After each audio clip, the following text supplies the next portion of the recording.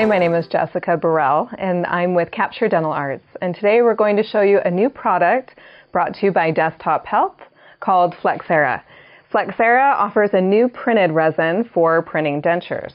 And today I'm going to show you how we customize dentures to make them look more natural. Smile design is really important to us at Capture Dental Arts.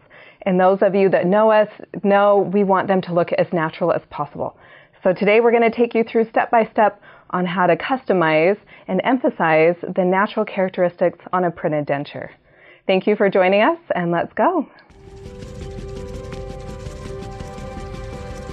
So we're going to show a couple ways how to customize the dentures. And one of my favorite products that I like to use is a composite stain by Nexco.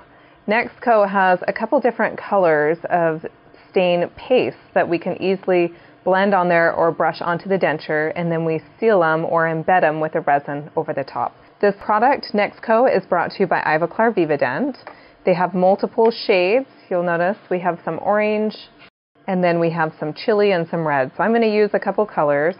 I'm going to use first, this is the Nexco chili.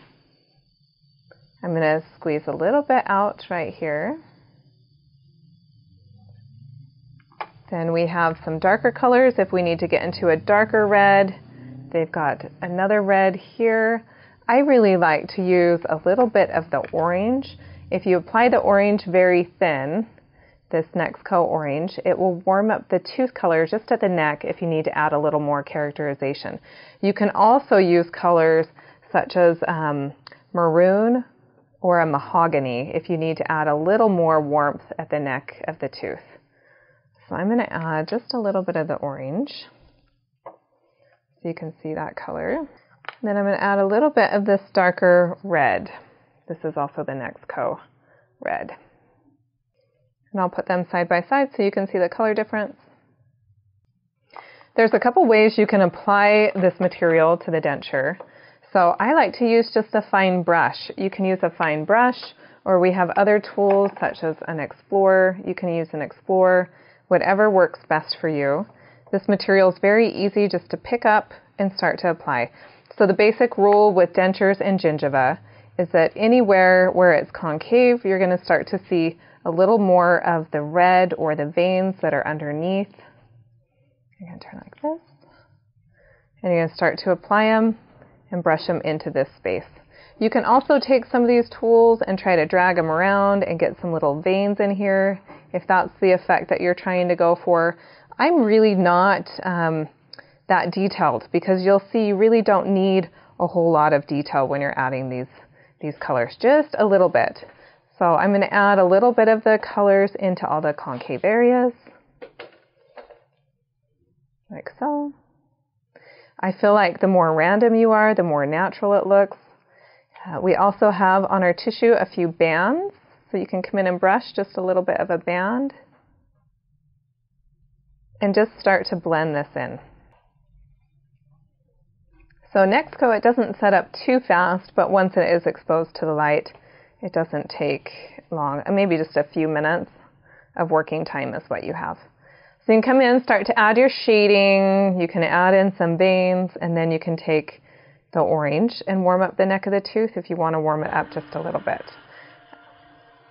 So I'm going to apply just a little bit of the colors at the neck. You can keep your brush clean. And then just a little bit of this orange at the neckline so I can get a little bit of warmth.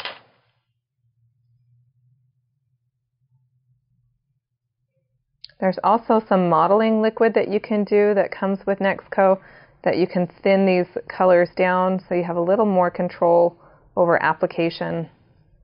Make sure you don't get the pink gingiva everywhere, that pink stain.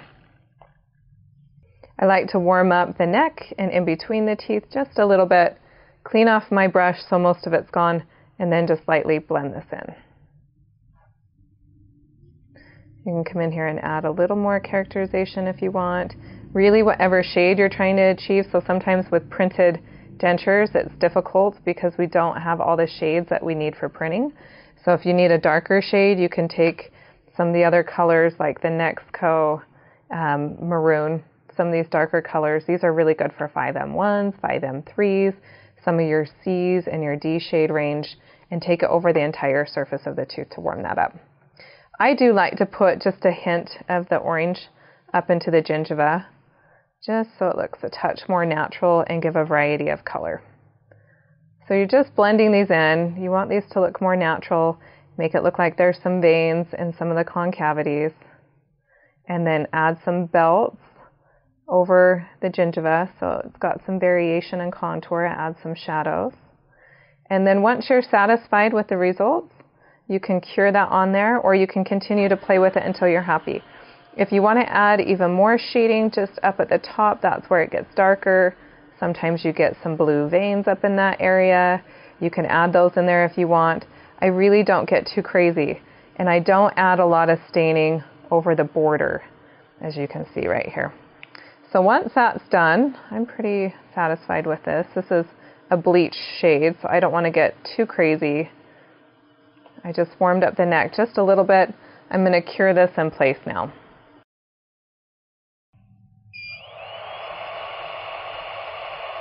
And depending on the strength of your curing light, you're just going to do anywhere from a 10 second to a 30 second cure to set everything in place. Our resins are a composite base, so the composite does adhere to them. Okay. And then once you have those colors on there and you're satisfied with the way it looks, you can see the difference between the two sides. Now we can take the resins themselves and start to customize with the resins. So the goal is to take the Nexco, place it internally, and then we can take the resins themselves that we print with and apply them over the top to seal in the Nexco composite stains. So I'm just adding a little bit of the resins into a well. I found this little container on Amazon, surprisingly, and it's got a lid that goes over the top of it that prevents it from curing. So it protects the material so it doesn't set up on you. And then that way you can place this lid over the top of it and leave it um, for however long, couple days, weeks, whatever you need. So I've got my different colors of resin in here. Um, I'm going to go over the colors. I have a light pink here.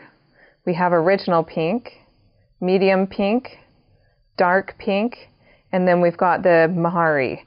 I also like to use a little bit of the tooth colored resin. This is an A2 of the Flexcera tooth resin. And then that way, if I need to add a little bit of warmth, I can use the resin itself and brush it in at the neck or customize wherever I need to. Or if I'm adding color over the top, say I added the Nexco material at the neck, I want to seal the Nexco in there. So I'll use whatever color tooth color resin I want to go over the top of it to seal it in place. Um, one other option too that I didn't express it earlier is you can use blue. We have some blue stains if you want a little bit of blue translucency on the incisal of the tooth. That's an option. You can add a little blue. You can add a little bit of halo, and then you can take a thin coat of the resin and place it over the top. So we're going to use these colored resins and we're going to apply them over the top of the denture to seal in all the stains that we just placed on there. It really doesn't matter what color. It's, you're placing these on there so thin, so it's not going to make a big difference. I'm going to start with the light pink, and I'm going to place a band of this light pink just right over the neck. I'm going to start to seal these colors in. One thing I like to do is don't place it everywhere just yet. There's a couple techniques you could use. One, you can take a little bit of resin and brush it over the entire surface so you know you have the stains all sealed in.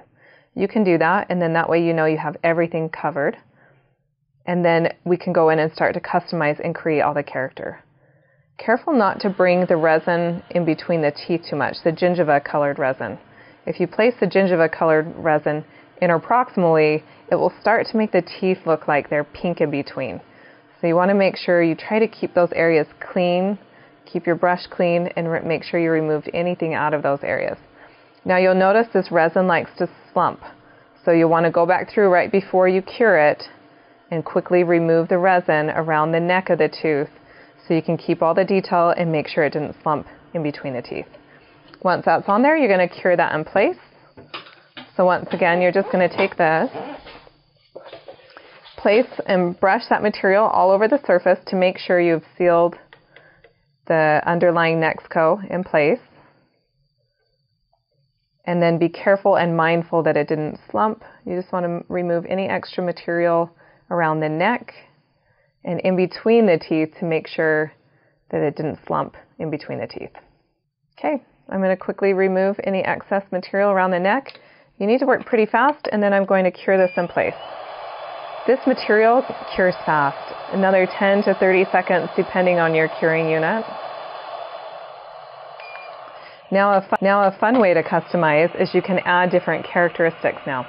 I can take the resin and start to build in different shapes and different details. But you have to work quick. So one thing I like to do is take and place an extra band over the neck of the tissue and then quickly cure that in place so I can add elevation. You can also add texture in here. I'll show you how to add a little bit of texture. So we're using the resin itself, which means it's going to wear the same. We're not going to get the difference in wear like we see when we're trying to place composite over the top of printed resins. We want to be able to use the resin itself to customize and characterize. I can come in here too and add a little bit of stippling. Get this area elevated real quick.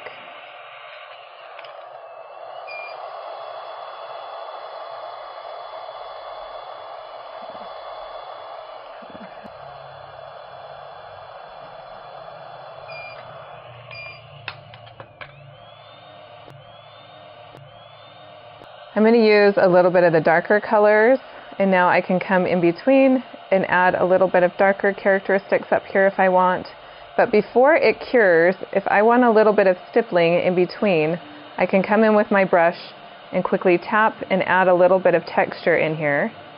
And before that resin sets up, I can hurry and come in here and cure it. You want to work fast before it slumps. Another trick is to set your curing unit on a stand and work underneath it, and then that way you can go ahead and turn it on while it's on the stand and have both hands available to hurry and create the characteristics before the detail slumps everywhere. So that's pretty much how you create char- all the different characteristics. Um, I would go back over the tooth too. I'm not going to use this A2 resin because these are a little bit brighter. I'm going to go with my bleach shade and just seal over the top of them all the stain that I put in at the neck.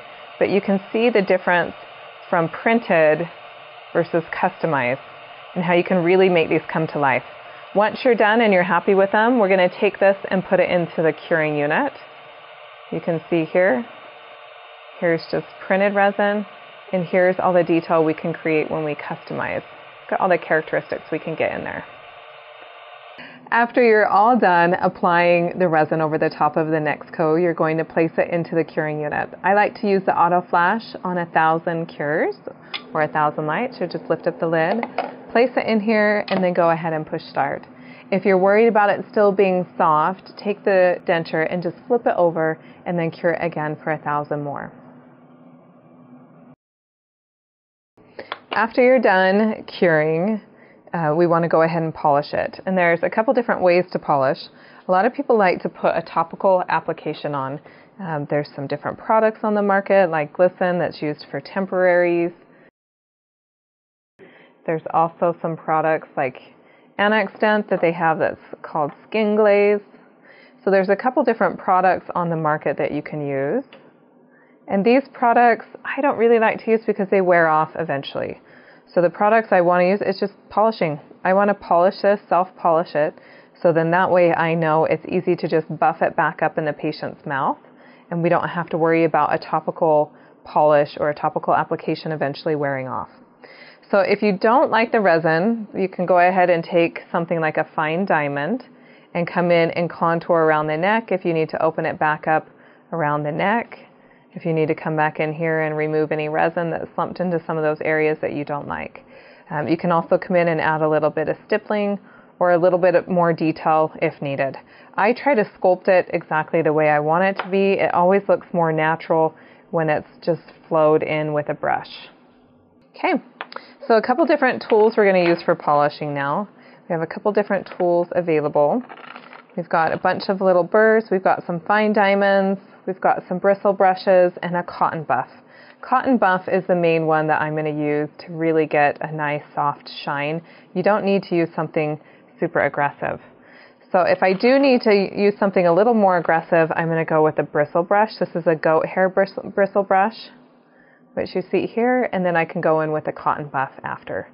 Uh, if you need to add a lot more texture, you can get into some of these texturing plastic um, bristle brushes. These are by Komet, but most of my stippling is just done by hand with a brush, so I usually don't need to use these. Try to keep it simple in your application. Also, there's a few different rubber wheels that you can get out there. This is a nice little tip that you can use if you need to contour just around the gingiva. So if you need to come in here and reshape around the gingiva, you can use it to reshape or resculpt. So I'm going to go ahead and start to polish and I want to show you the difference. You can use polishing paste, but they're not always necessary.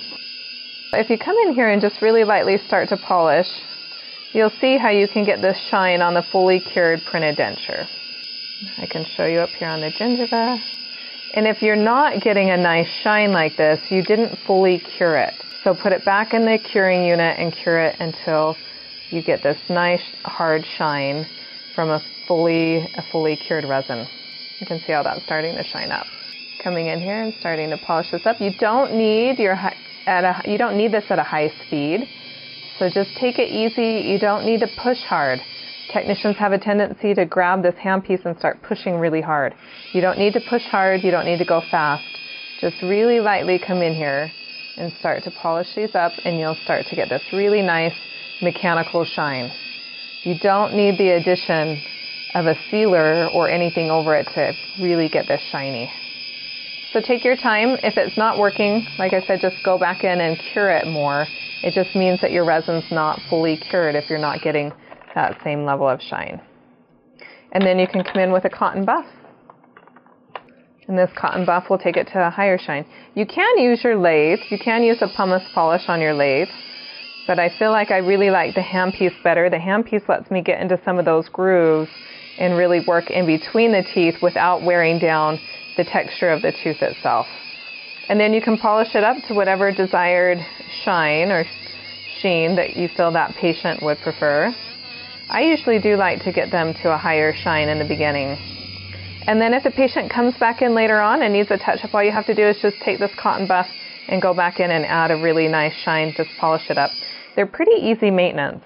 One thing I like about this material is if the patient chips a tooth, it's really easy for the doctor to repair this. So if the patient chips a tooth, they can just come back in with some resin and reshape or add to the tooth if they chipped it. Say they don't like how sharp this canine is, they can come in with a little bit of resin and come in here and reshape that and cure that into place and change the shape of the tooth. Or if it breaks later on, it's very easy to repair this material. So when you're getting ready to polish it, if you need to do some aggressive contouring, you can use this bristle brush and go in between and just lightly polish in between these areas. Um, this will contour if you push hard enough. You don't need to push hard and you don't need to go fast. But just go into these areas and polish up until you get the shine you want or contour. If you want to add some horizontal imbrication lines, you can usually accomplish them with something like this bristle brush.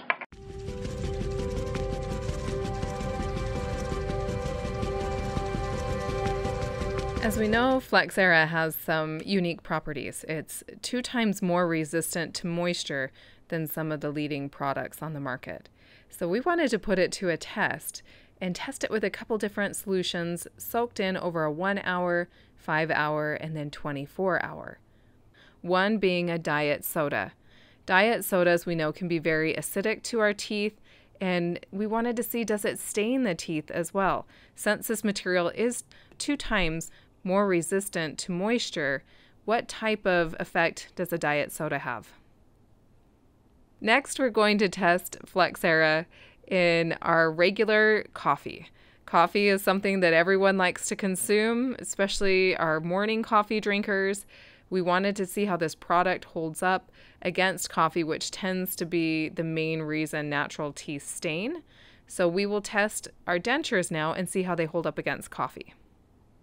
Let's see how Flexcera holds up now when soaked in a beet solution. This is 100% pure beet juice, and why not add a couple extra beets to the mix to make sure our color is extra strong. Now, as we compare our three different dentures that have been soaked in diet soda, beets, and coffee for a 24 hour period, you can see diet soda and beets really had no impact on staining. The coffee, however, there was subtle changes in the color, just a little bit of a warmer hue. That was 24 hours soaked in coffee, though. So realistically, who's going to soak their dentures in coffee for 24 hours? That's not very likely. Overall, very impressive results with Flexcera tested in solutions over 24 hours. You can see the two times more resistant to moisture really plays an effect as we have no staining to very little staining from the beets and the soda and very little staining from the coffee when soaked over a 24 hour period. One thing that makes this product so unique is the long chain chemistry. Flexcera has this unique long chain that really gives it added strength. And in comparison, it's three times more fracture resistant to some of the leading products on the market. We know that dentures fail for several reasons stepping on them, being soaked in the wrong solutions, so we wanted to put it to an additional test. So we put it to a test with stilettos, high heels. What better test to see can it hold up against these fancy shoes? But we live in Utah, so we can't forget our snow boots.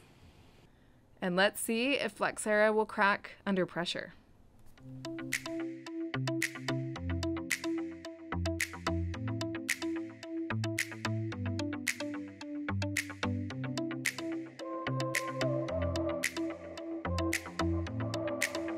As we know, there are a lot of reasons for failures with dentures. Some misplace them, some lose them, some step on them, but one key reason for failure is our dog. So I brought a very special guest here today that I'd like to introduce you to, our family dog, Tahoe. And he's going to help us test Flexcera to see how it really holds up underneath a dog's bite.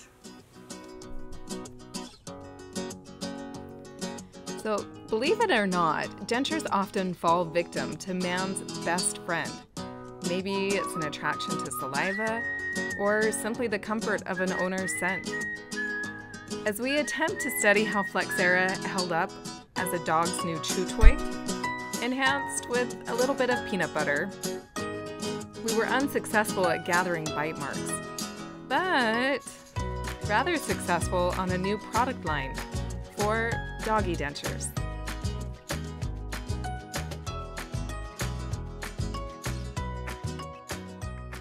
Thank you for joining me today as we test some of the new products on the market with 3D printing, as we test Flexcera and look to enhance natural beauty. Be sure to check out their website, Desktop Health, for additional products and material. And be sure to follow us on social media with our new center, Capture Dental Arts Health and Beauty Center.